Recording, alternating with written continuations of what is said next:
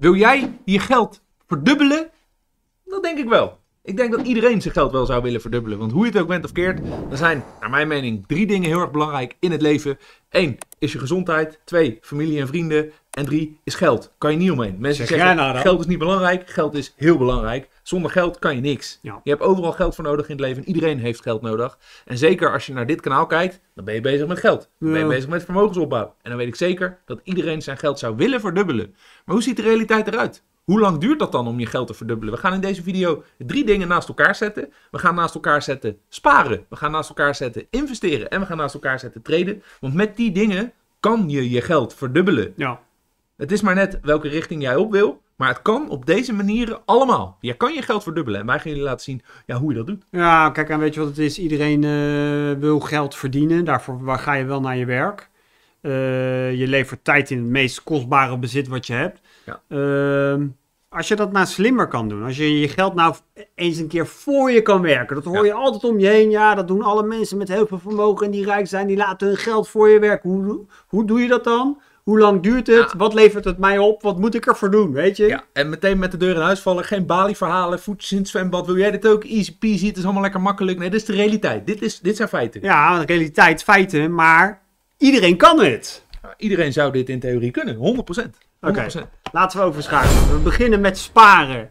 Ehm, ja, de minst sexy oplossing, dat wel. Weet kan je? wel. Ja, het, het probleem met Nederland is, met Nederlanders, wij houden wel van sparen. Hè? Spaartegoeden zijn best wel flink. Zeker. Eh, het wordt ook met de paplepel ingegoten. Ja, oké, eh, als jij later iets wil bereiken, dan moet je je centjes opzij zetten. Dan moet je een beetje gaan sparen. Ja. Afgelopen jaren leverde het helemaal geen kut op. Ehm, de spaarrente is nu weer positief, dus je kan daarover nadenken. Maar hoe lang duurt het dan als ik, ste- stel, ik heb hier gewoon een, bereken, een, eh, een, eh, calculator staan. Stel, ik heb 5000 euro's, 5000 eurotjes, Ja. keiharde euro's. Keiharde Ries. We laten even eh, dingen als eh, vermogensbelasting. Misschien heb je een hoog vermogen, Ja. moet je daar eh, belasting over betalen. Inflatiecorrectie, laat ik even weg. Anders wordt het moeilijk, wordt het lastig. Ja, maar dat zijn altijd de inkoppertjes die wij op dit soort video's toch altijd krijgen. Ja, maar jullie vergeten dit. Het gaat even zwart-wit gezien om als je 5000 euro hebt en je krijgt rente. Hoe lang doe je er dan over om die 5000 te verdubbelen? Ja, ik heb eh, online eh, de hoogste rente gevonden op, me- op eh, dit moment die je in Nederland onder redelijk normale... Dus we gaan uit van voor- het meest positieve scenario. Ja, dit is het meest ja. positieve scenario. Hoe lang heb je dan nodig om je geld te verdubbelen? Dan ga ik gewoon even invullen. Ben je er na 10 jaar?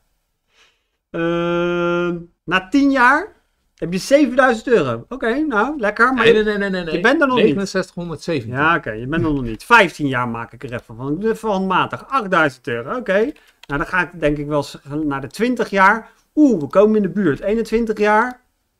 Eh, bijna. 22. Oké. Nou, als je 5000 euro aan kapitaal hebt met een rente van 3,25% die schommelt, met een inflatie en met alle andere toeters en bellen eromheen, 22 jaar zegt hij hier, dan zou je er in feite zijn. Maar met een rente die schommelt, met een inflatie die schommelt, ja, wordt dit Nou ja, het is 22 jaar, weet je wat het is? Sommige van onze kijkers zijn, zijn nog ineens zo oud. Dus die moeten hun hele leven dan wachten voordat ze hun geld verdubbelen. Ja, en Ehm, het probleem is, die, in die tussenliggende 22 jaar moet wel die, die, die rente moet wel op peil blijven. dat is wat ik bedoel. Die rente die schommelt, Eh, inflatie schommelt, doet natuurlijk niks af aan eh, het bedrag, maar wel aan de koopkracht van dat bedrag. Dus ja, sparen, kan je daarmee je geld verdubbelen? Het kan. Ja, het- Het kan. Ik zou liever iets anders sparen. ja. En dan heb ik het over bijvoorbeeld, eh, dat hebben we ook al vaker aangehaald, maar voor mensen die nieuw zijn op dit kanaal, assets. ja. Waardevaste dingen die zijn koopkracht behouden. Eh, dat soort dingen kan je sparen. Dan heb je het Ja, over aandelen, goede investeringen, eh, noem het allemaal maar op. Maar sparen op de bank, je hebt, je hebt altijd een buffer nodig. Als er dingen gebeuren, moet je centjes op de bank hebben om dingen te kunnen doen. Maar meer hoeft er eigenlijk Nee, niet het op de bank probleem is dus gewoon, het werd uitgelegd, de- vooral do- ook door mijn ouders bijvoorbeeld, maar die kwamen uit een periode dat jij soms nog een spaarrente kreeg van 6, 7, 8 procent. Zo ja, dan tikt het aan en dan kan je erover nadenken. Ehm, en het werd ook altijd uitgelegd als veilige optie. Maar als op een gegeven moment de, de, de inflatie, als ik dat eraf haal, blijft er niks meer over. Eigenlijk teer je gewoon in dan. Ja, En je, we, we zijn hier om ons account te verdubbelen. Ik wil meer geld. Ik wil niet mijn geld beschermen. Nee, ik wil meer. dat nou, is, wat, eh, wat kan je dan nog meer doen? Je kan gaan investeren.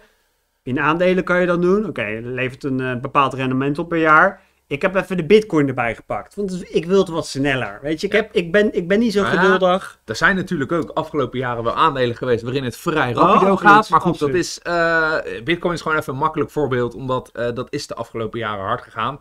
Dan kunnen we natuurlijk ook kijken naar de data van de afgelopen jaren. En ja, de data van de afgelopen jaren bieden geen garantie voor de toekomst, maar dat is wel wat we inzichtelijk kunnen maken. Ik heb hier een beetje het lijstje erbij gepakt. En ehm, als je op een willekeurig jaar was ingestapt, wat je dan ongeveer eh, had verdiend. Eh, ja, in de beginperiode was dat crazy. Er waren wat hele gekke rendementen. Op een gegeven moment vlakt dat wel een beetje af. Maar nog steeds zitten er jaren tussen.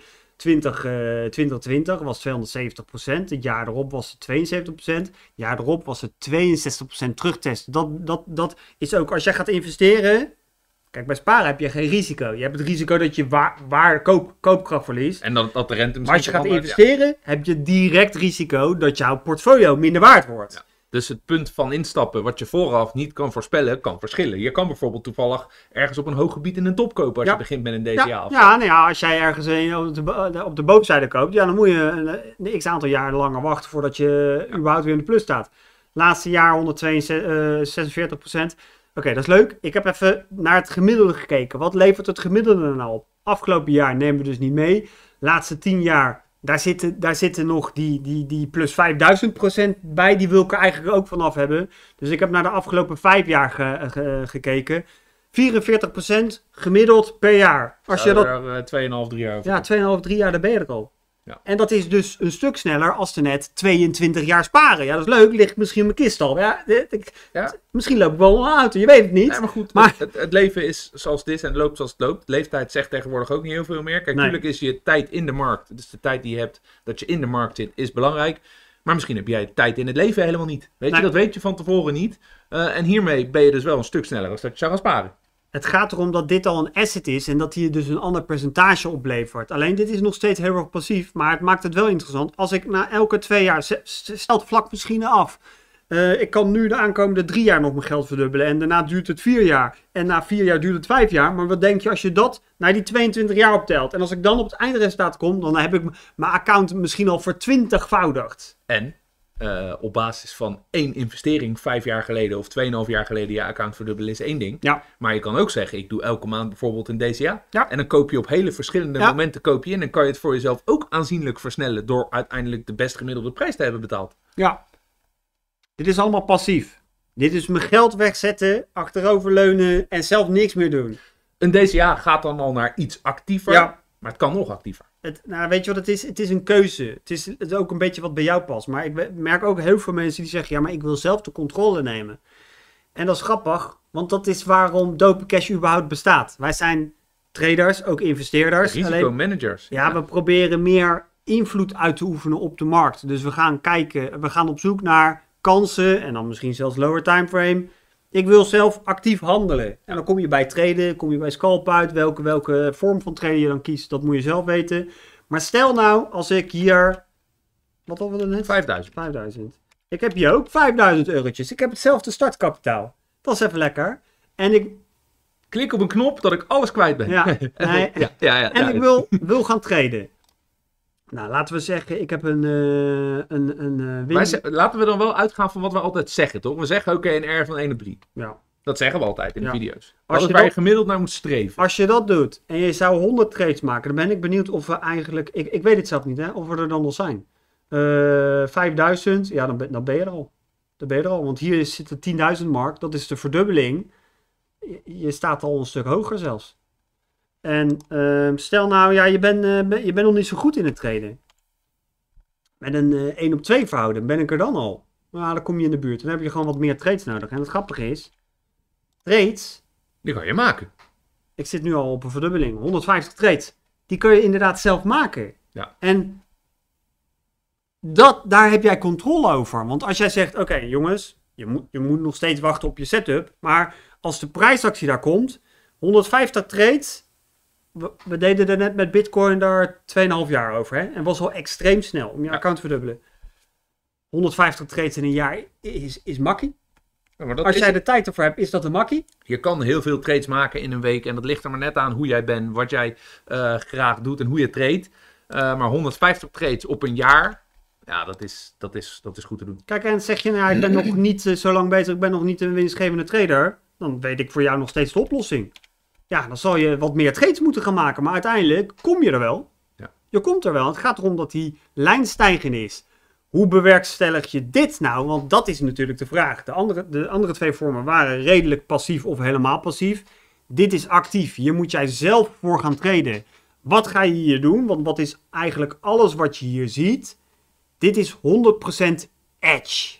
Dit is een voordeel ten opzichte van de markt. Je hebt bij elke setup heb je een, een slagingspercentage. Slagingspercentage staat hier. Die staat nu op 50%. Ja, ben ik misschien nog niet zo goed met 40% en een winratio van 1 op 3, zeggen we altijd. Ja, kom je er ook. Ja. En je kan daar zoveel mee, eh, Tweaken. twe- tweaken. Het gaat erom dat je op zoek gaat naar een edge. Als jij echt wil gaan traden, jij wilt actief naar jezelf toetrekken, dan zal je een edge moeten vinden. En die edge kan je in heel veel eh, eh, eh, onderdelen vinden. Je kan een systeem gaan bouwen. Wij, wij als Dopecase zijnde hebben zo'n systeem. Hebben we zelfs beschikbaar voor jullie. Die moet je alleen naar je eigen hand zetten. Ja. Je kan niet alles domweg kopiëren. Maar als jij naar prijs gaat kijken, dan weet je bijvoorbeeld al over het algeheel, over een hele dataset. Als ik redelijk laag koop, heb ik waarschijnlijk meer R naar de bovenzijde. Ja. Als ik dat op een bovenzijde doe tegen een resistance aan, ik mis- gaat mijn strike rate misschien een beetje omlaag. En dat zijn allemaal dingen die je in je eigen voordeel kan doen laten uitpakken. Ja, je zegt, wij kunnen jullie dat leren. Ja, daar is niet een kant-klare strategie die je ergens in de winkel koopt en dat je dat kopieert en dat je dan geld gaat verdienen. Hè. Wat wij jullie leren is hoe jij zelf voor jezelf zo'n strategie kan ontwikkelen. En misschien wil je dat wel helemaal niet, eh, scalpen. Misschien wil je wel meer daytraden. Misschien wil je wel meer swingtraden. Misschien wil je wel investeren. Misschien, wat me heel sterk lijkt, wil je gewoon door middel van rente op de bank Ja. dat gaan verdubbelen. Dat kan. Maar je moet uiteindelijk de keuze gaan maken die het beste bij jou past. Wij hebben met een realistisch beeld laten zien hoe je dit kan doen en hoe snel je dit kan doen. Kan dit dan in een jaar? Kan het in twee jaar? Het kan in ieder geval met traden sneller dan met investeren. Ja. Ik denk dat dat meer de message is. Want het gaat niet per se om hoe snel maak je dan die eh 240 of 100 of 150 trades. Nee, het gaat er meer om, oké, kan het dus sneller als dat je aan het investeren bent? Als je kan traden, kan het sneller als investeren. Traden moet je wel leren.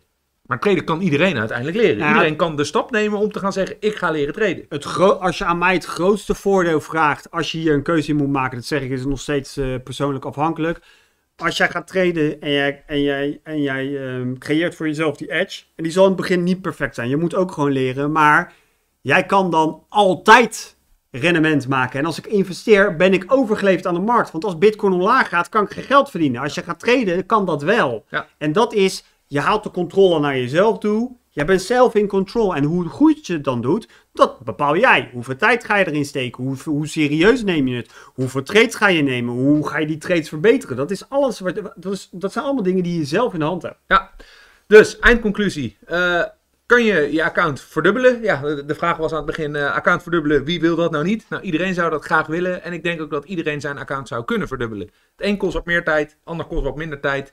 Eh, maar in de basis, realistisch gezien, zou iedereen een account kunnen verdubbelen. Ja. Maar niet in een week, niet in een dag. Dit kost gewoon veel tijd. Heeft niet te maken met een rare altcoin kopen en geluk hebben, hopen dat je je account verdubbelt. Dit is gewoon eh, skill, weten waar je mee bezig bent.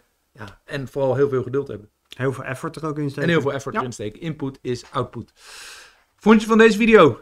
Vergeet niet eventjes op het duimpje te smashen en te abonneren op het kanaal. En laat even weten onderaan deze video wat je ervan vond. Waar je zelf mee bezig bent. Ben je meer een spaarder? Ben je meer een investeerder? Ben je meer een trader? Welke richting wil jij op? Vinden wij leuk om te weten.